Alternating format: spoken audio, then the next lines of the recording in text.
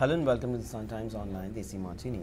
My name is Sandeep, and today the actor that I'm sitting with is the grandson of one of India's most illustrious singers, Mr. Mukesh Chand.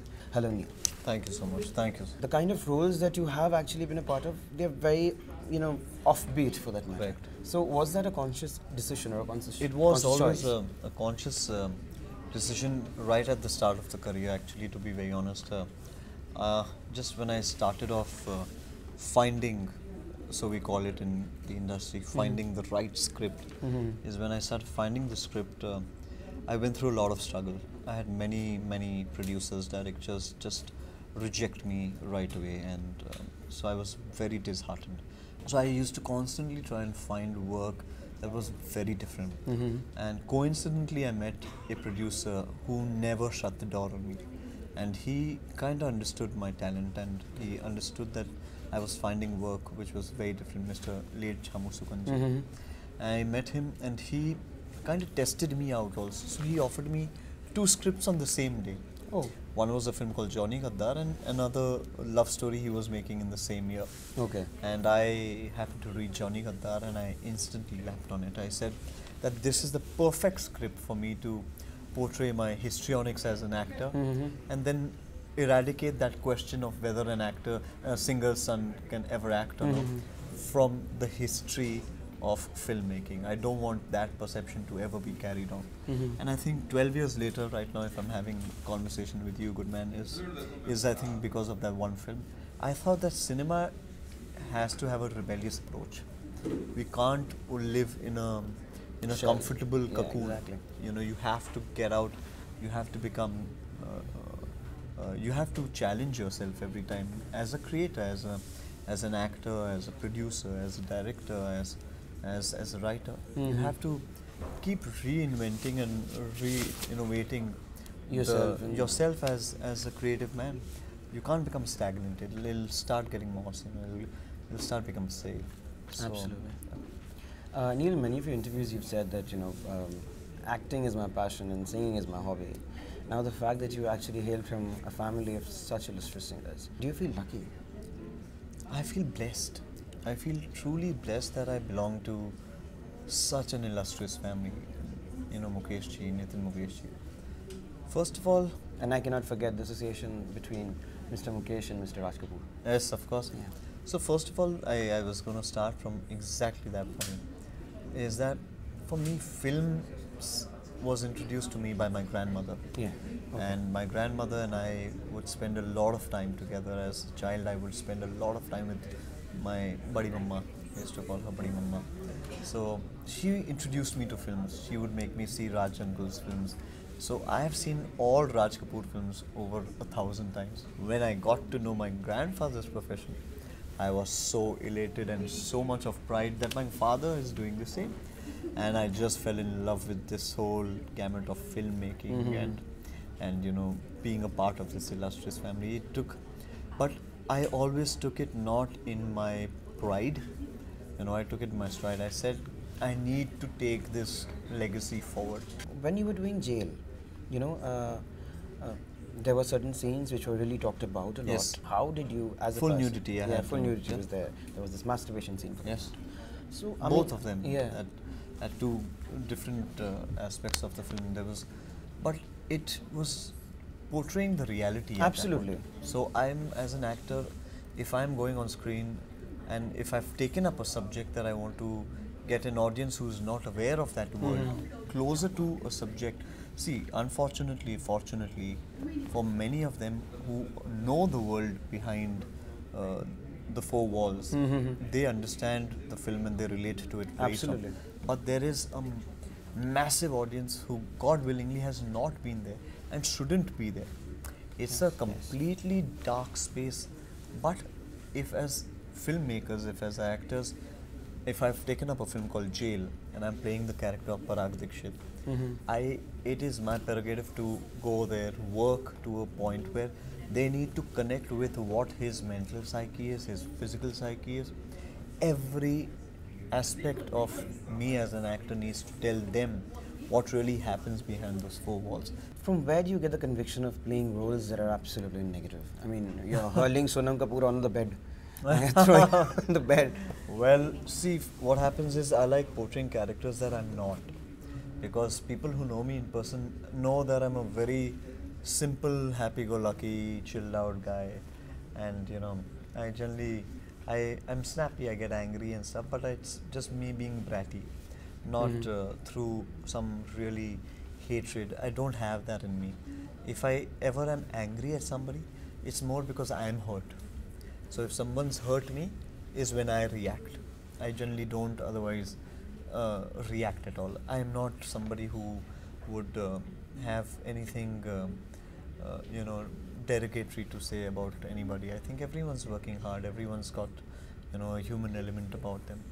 I can't be evil, Mhm. but because I can't do that in person and I'm not like that, I want those people who know me and in general my fans to see a s- flip side of what characters can be portrayed on screen. Mhm. So I don't necessarily have to.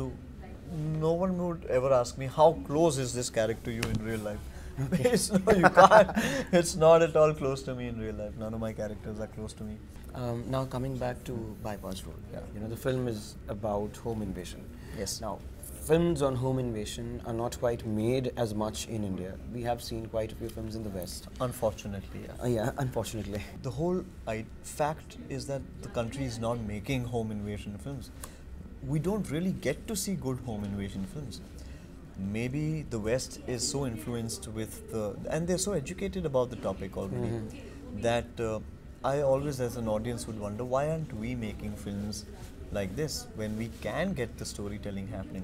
You know, I, I to be very honest, I get bored at times reading some scripts uh, because we we run on formulas. You know, Yeah, we do. if it if it's a hit film, we make 20 Ten of t- the same. exactly. If someone has made a biopic, there'll be 100 biopics now. It's like as if there is nothing else that we can Yeah. fictitiously or fictionally make. Fiction is a great, uh, uh, you know, tool for, for storytelling. And for me, as an audience, I love the cinematic experience, to be honest. How much ever I like biopics, and I do respect everybody for the fact that they're making some great biopics also. But for me, the cinematic experience is about a fake world, all created. Get me into a story that I'm not really aware of. Mhm. Make me believe that that world exists. You know, so that is a challenge for me. How did you kind of zero in on Gul Panag playing your stepmother? Oh well, Gul is mesmerizingly beautiful. You know, I needed somebody who's never portrayed dark on screen. Plus, she has that class, Yeah. you know, about her. Plus, she has that beauty about her, and plus, she has to be a fantastic actor. So, Gul, that combination was very difficult to find. Mhm. But our top choice was always Gul because she's beautiful. Apart that, she's a very strong performer, a very strong actor. She has that own class that she has always maintained. Yeah, you she know, does. A very, very s- strong personality. But we've never seen her play dark. A negative role, exactly. So all the actors on screen are portraying characters that they've never done on screen, which is the challenge, and that's the reason why we've cast everyone. Uh, there's Sudhanshu, there's Rajit Sir, there's Manish Chaudhary, there's Mukesh Bhatt, there's Tahir, there is Adah, there's Shama. Shama has done a fantastic job. Adah has nailed. She's the girl who gets killed, right? She's the girl who gets killed, but she has a backstory. Mm-hmm. Fabulous job she's done. Much has been, you know, talked about and spoken about the fact that, you know, uh, their, uh, your, your song, I mean, your father's song, Yeah. uh, has been recreated for the film. The- so you did the vocals for the, for the No, no, song? no. Okay. My father has Oh, so that's just the song that's a Yeah. recreated version of the So same song. we recreated the entire song. We originally got it sung by Jubin. He's Okay. done. It's a recreation. We didn't take the. We haven't remixed it. We got an original soundtrack created, Okay. and only in the Mukhda we got only So Gaya Ye Jahan.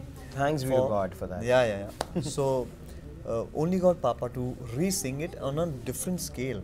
Okay. So it's not that it's not a remix. It's a completely original track and r- composed by Raj Ashu and uh, written by Shabir Bhai.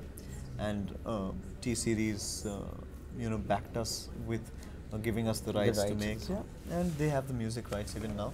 It's their song. The fact that you know you you have never really been a part of any camp for that matter.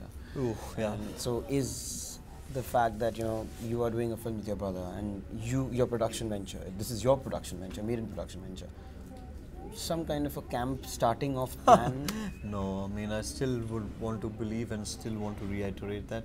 I mean, see, camps are basically families, okay? It's tomorrow if I am happy working with you, I'm work with you about, say, 100 times, 10 Mhm. times, 20. Just because I'm happy working with you, we have a certain relationship of work.